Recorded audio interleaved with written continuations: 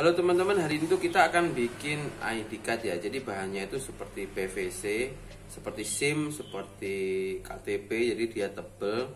Jadi prosesnya itu nanti kita akan belajar bareng-bareng mulai dari awal.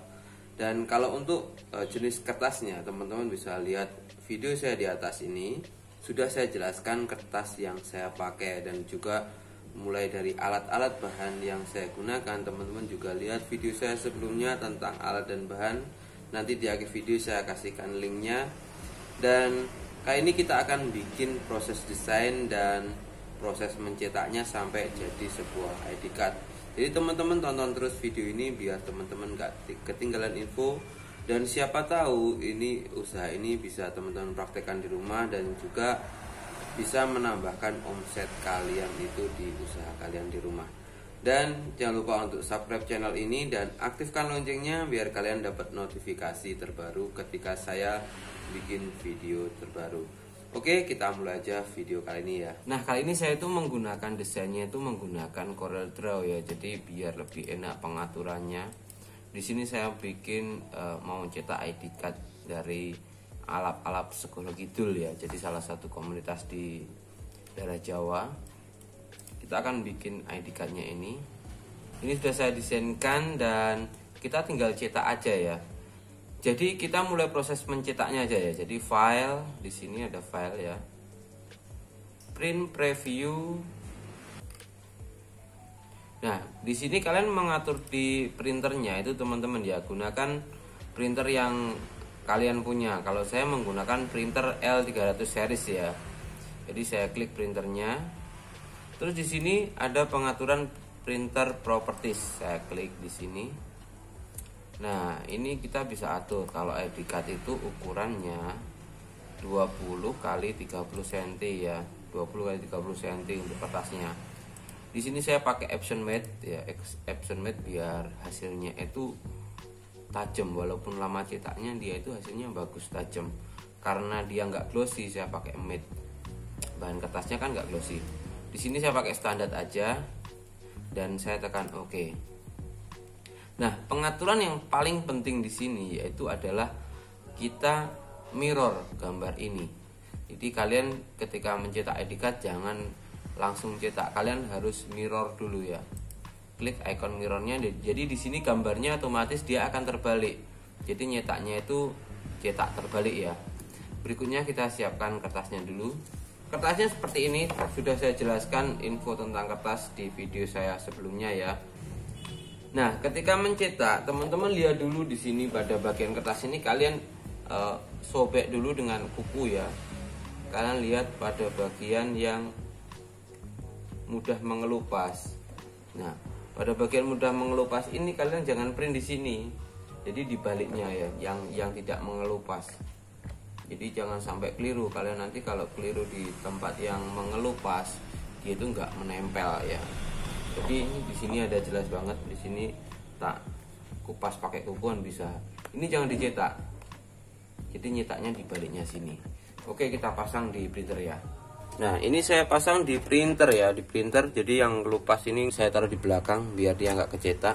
Jangan sampai kebalik. Lalu di sini di printer saya langsung saya print aja ya saya print print this sheet now. Seperti ini. Nah, dia akan proses mencetak.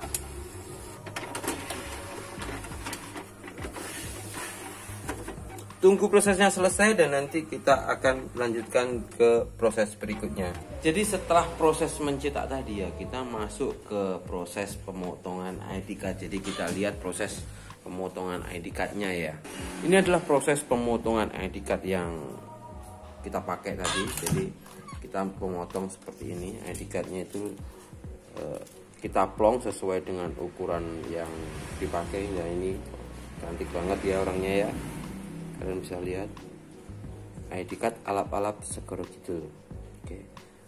Ini ternyata anggotanya cewek-cewek cantik semua ini kayaknya jadi setelah tadi dipotong-potong, sekarang kita uh, hilangkan pelapis plastik pada area PVC-nya ya. Tarik seperti ini. Ini adalah lapisan plastik dan harus terkelupas semua ya teman-teman ya. Kalau ada yang ketinggalan seperti ini, kita kasih solasi lagi karena kalau plastiknya itu tidak dicopot semua dia itu nanti nggak lengket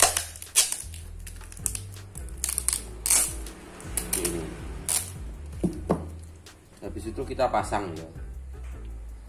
Kita pasang kita pasin. Lalu teman-teman tekan-tekan seperti ini. Biar, biar uh, lengket ya. Habis itu baliknya kita juga lepaskan prosesnya sama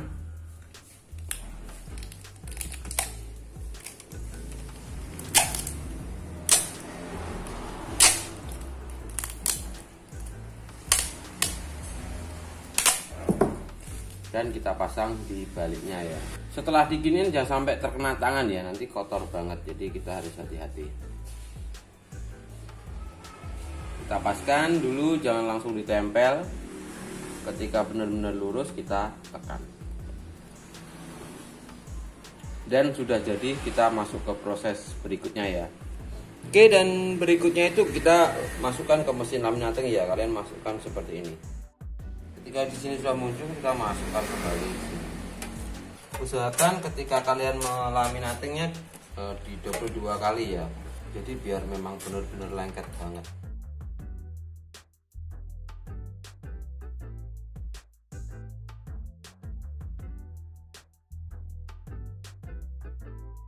Jadi begitu tadi tutorial gimana proses pembuatan dari ID card PVC nya ya jadi semoga video ini bermanfaat dan untuk hasil akhirnya seperti ini jika kalian uh, sudah selesai kalian bisa kelupas pada area di selaputnya luarnya. Kalian tinggal tarik seperti ini ya kelupas seperti ini dan hasilnya sudah jadi ID card yang mengkilap.